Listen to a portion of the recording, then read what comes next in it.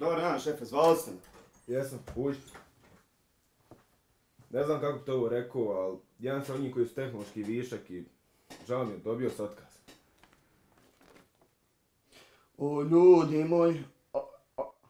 Šta je ovo? Već treći put dobijam otkaz kao tehnološki višak. Ne mogu vjerovati. Deložacija. Sigurno zbog duga u banci.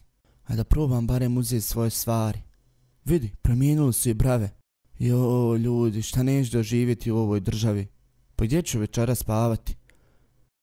Zar je ovo mjesto za život? Moram spavati u smeću na otvorenom, a zima dolazi. Ovo nije mjesto gdje želim da živim. Sreću, imam 40 maraka za autobusnu kartu u jednom pravcu. Evo mog autobusa za bolji život u društvu koji brine o svojim građanima.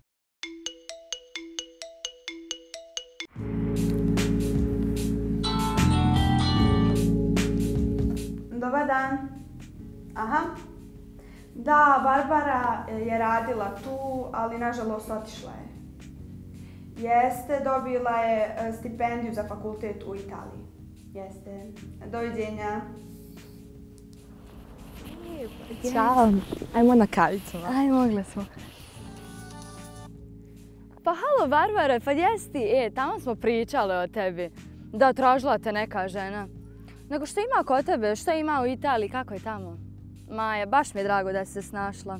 Ajde, čućemo se poslije, idem sad na kafu. Zvala me Barbara, kaže super joj je tamo, baš se dobro snašla. Da. Aj, stvarno mi je drago. Joj, kako smo mi čudni. Mladost nam odlazi, a samo malo dobre volje i podrške je potrebno da to ne bude tako.